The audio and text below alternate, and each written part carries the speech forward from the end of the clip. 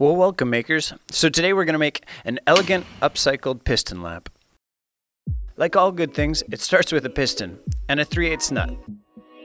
My piston came from a very, very seized engine, so I had to use a wire brush on a bench grinder.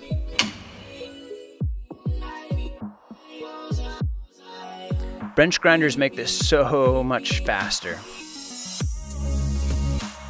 And make sure that you get all of the gunk out of the oil ring channels.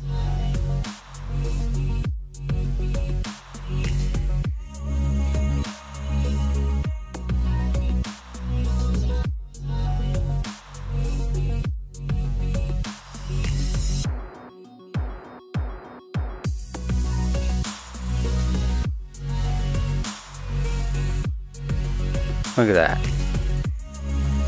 So now you take the rod cap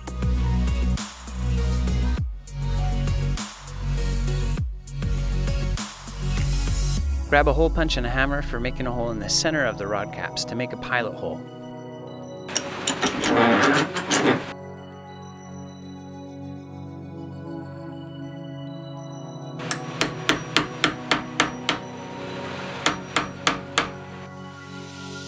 We're going to make a pilot hole and then finish it off with an 1132 drill bit.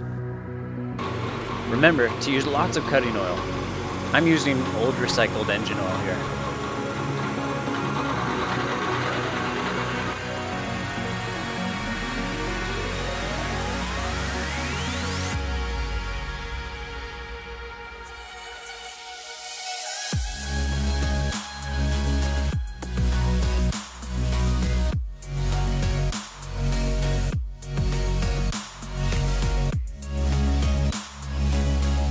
Now we want to use a 1 8 IPS or straight thread tap.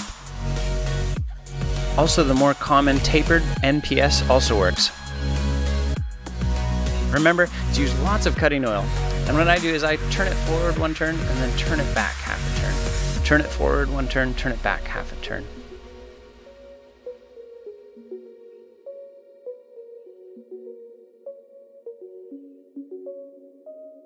Oh yeah, welding time. Now here we have to lock up the wrist pin so our lamp doesn't pivot. Depends what type of material the connecting rod is, but I just put lots of weld on the wrist pin and then grind it down later.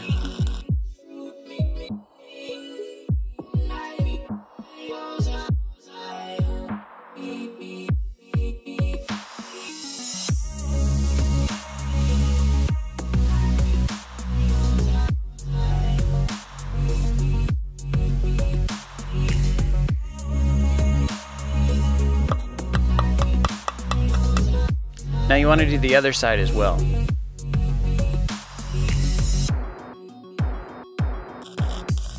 Here's where we take the little nut. So we're going to weld this onto the connecting rod so that we can thread that wire actually through this. We'll put a bushing in it, but right now just mock it up and then weld away.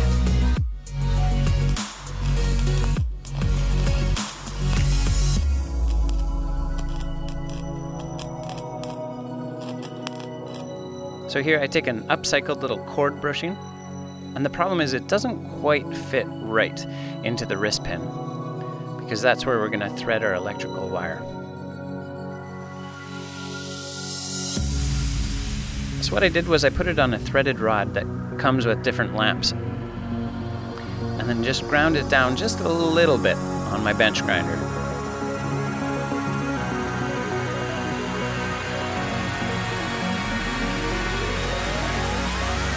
Yeah, so that fits much better and we'll epoxy it in later. Thrift store time, baby.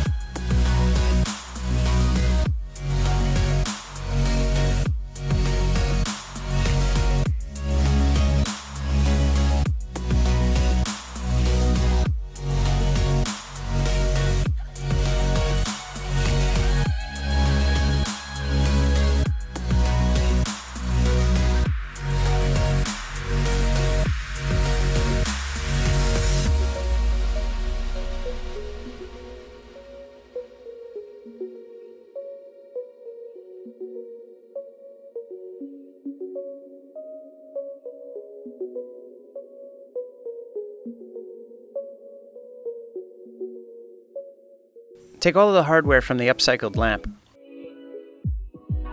and disassemble it. Here's a 1 8th brass nipple, and that goes straight into that thread that we did. We'll epoxy it later.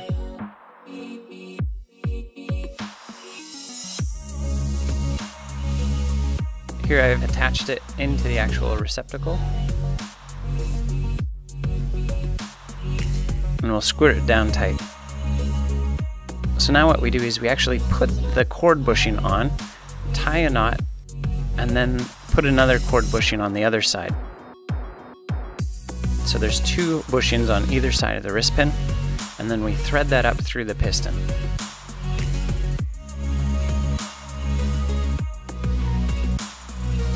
And then once we've threaded it through, we attach the electrical.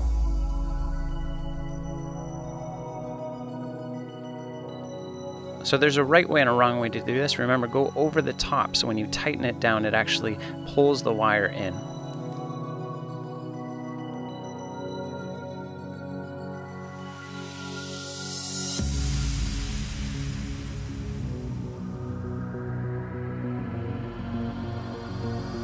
So you remember you want to pull that knot through, put the bushings on each side, and then it's spray paint time.